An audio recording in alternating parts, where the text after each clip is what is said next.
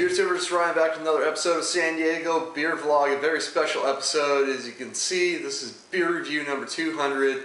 And I decided to break out a very special, very limited beer to, to review for you guys for number 200. So it's been a lot of fun doing these beer reviews. Can't believe I'm already at 200. Uh, I started early August of 2010 and got the 200 reviews in uh, about mid-September or so, towards the end of September. So going to celebrate with Lost Abbey and their Veritas series. This is Veritas number 9. If you can see that on the, on the cork, that's where the 009 is. All these labels are, are the same for each Veritas beer, I believe. I have not seen every single one, but I remember uh, seeing, I have sampled Veritas uh, 3, so I've seen that label. I think it was pretty much the same setup. They all, or I have 8 and 9 myself both say 8% ABV. Uh, I believe this beer is much higher than 8% because Veritas 9 is a very special creation. I believe this started out as the base beer being old viscosity. It then spent 15 months in, I believe, bourbon barrels. Then it spent another 15 months in some, I believe, red wine barrels. Then after another, they got 15 months, they added in some, I believe, tart cherries. I'm going all memory on this one get, let it go another 15 months. Ended up bottling it because uh, I thought it tasted good enough and then let it age for, I believe, like almost a year just in the bottle. So unfortunately this is from the time when they were having their carbonation issues. So I don't expect a lot of carbonation on this one, but let's get it popped. And I have tried this. I was at the release. I got two tasters of it. So I'm kind of an idea what it's going to be. So, and that, that beer didn't have a whole lot of carbonation. So it's a style that I don't expect a ton of carbonation on. And nor would the style dictate it. But yeah, not much of a pop. Oh wow, I can, I can smell it just pouring it. And you can see this is pretty, pretty dark beer. I'm not going to get much of a head on it. I mean, this beer spent a ton of time in barrels uh, wow, Oof. I can smell it from here. You can see there's some bubbles lacing around.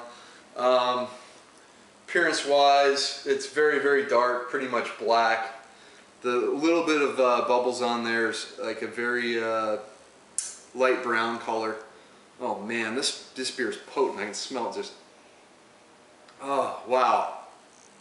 The nose is very complex. Um, you kind of hit up front with vinous notes and bourbon notes, big time. I mean, a ton of oak woodiness. I'm picking cherries, definitely get cherries. Tart cherries, big time vinous note, red wine, you know, deep dark, um, uh, really vinous notes. Like the mo most I've ever smelled on a beer. Sort of this softer vanilla note kind of in there. Um, slight bit of maybe like a hints of like chocolate. If it's old viscosity is the base, I don't think they use roasted barley in that beer, which is why it's not considered an imperial stout. Um, yeah, I'm starting to pick up definitely some more vanilla. I have this kind of cool right now. It's not too cold. I should maybe have uh, put it in the refrigerator for a little shorter time. Oh, what else is in there? Maybe like some toasted coconut kind of character. Um, smells great. Um, dig in. Uh, thanks for watching and uh, cheers to Beer Review 200.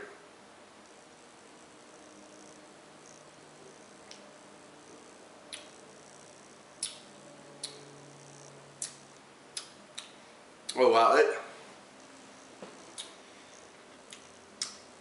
that's just a huge mouthfeel and it goes on seemingly forever. Wow, it's still like going on. Completely coats your mouth. I'm guessing this beer is somewhere around 14% old, older viscosity, which is essentially what this beer was until they moved it to wine barrels, is like 12, 12.5% ABV. So I think this one's gotta be above that. Um, I assume the wine barrels, I mean, it picked up a lot of vinous notes from those barrels, so I assume that probably picked up a couple more percentage in the alcohol. 14%, um, it's very smooth, it's still present. Um, you feel the warming sensation going down, but it's not very prominent in the taste. Speaking of taste, let's get another one.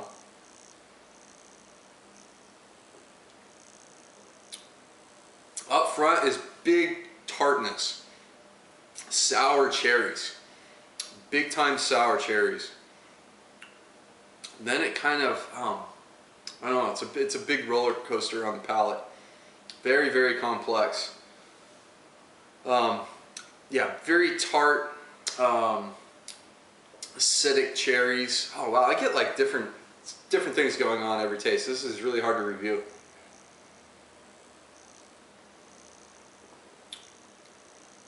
That's the first thing I know. Big ch tart cherries. Then it goes into vinous notes. Big time kind of, you know, just wine-like grape notes, fruitiness, like um, like a raspberry sort of, uh, you know, darker berry, like currants, like black currants kind of flavor after the it kind of transitions from the sour cherries, or more tart, tart cherries. Then it transitions into essentially older viscosity, which has this big vanilla, bourbon, uh, kind of just that earthy wooden characteristic finish you know chocolate going on. And then it finishes with sort of um, I don't know like a stringent um, kind of fruitiness but like in a good way. It's hard to say. It's just it's a very very bold beer. So I don't know if you can see that on my glass but there's some pretty amazing alcohol legs going on you can see a touch of lacing on there. It, it is carbonated. It's very low, lowly carbonated. Um, it is more carbonated than the Cuvée de Tomme uh, 2010 bottle I had. Um, but I mean, this is this is reasonable carbonation for this kind of complex of a beer because it has such big barrel characteristics on it. It's it's nuts. It has you know big bourbon notes, big wine notes. I mean, those aren't carbonated beverages and this is definitely wine level in terms of alcohol. It clearly is. Although it's masked really, really well. I mean, you just feel it. That's it. I mean, it, it, obviously it has a lot of age on it since they first made this beer. It's scary how smooth and drinkable this thing is. It really is. Uh, the the mouthfeel. I mean, it's it's medium, kind of medium full. Doesn't quite get go completely coats your mouth, but it does fairly good job of it. I mean, there's a lot of lingering notes on this beer. I mean, uh, for the palate, it kind of takes a little bit getting used to that the tartness up front from the cherries. Once you get past that, I mean, it's a big, big, big, long finish. Probably the longest finish I've ever had in a beer. And, and kind of like after the beer's gone down, a lot of flavors kind of keep rolling through your mouth and your taste buds. Because it's so bold in its barrel characteristics that I keep mentioning. It, but yet there's there's some nice subtlety in there. Those worms get slight bit of more like caramel notes in it. Um, that toasted coconut is getting the smell definitely is coming through as well. This is one of those beers you want to just uh, take a sip and let it kind of sit on your tongue a while. Just because of the complexity. Um, as I do that, I get some more vanilla notes in the back end. You definitely get some oak tannins going. Slight kind of smoky char character that would like come from the inside of a barrel. Uh, there's also a bit of a saltiness to the beer as well. Not in a soy sauce sense, but just kind of like more of an umami kind of uh, flavor going on with it that kind of has the saltiness as well. I can see this beer being pretty much a love it or hate it type of beer. Uh, if you're into big barrel characteristic beers, I think this one is definitely worth trading for. If you have the firepower to get it, it was very limited. I think they released about a thousand bottles, but each person could buy up to four, so, and I think most people did. And it was very expensive as well. This bottle was $35. So, uh, is it worth the $35 for this beer? I think it is, but you guys know I'm a beer geek. I like these barrel aged beers, these, you know, and they did a really good job with this, giving it um, some flavors and tastes in a beer that I've never had before in the combination into one beer, and they, they managed to do it with this one. So I'm going to give this one an A. I think it's excellent. I'm a fan of those bolder flavors. But then there's still, you know, there's some subtle complexity in there as well. But, I mean, if you want a beer that combines big wine barrel characteristics and big bourbon barrel characteristics, this is the one to get. Um, if, you, if you can find it, if you can trade for it at this point. So it's going to wrap it up for beer review number 200. Thanks for watching. Thanks for all your comments and subscribe if you haven't. Until next time, cheers.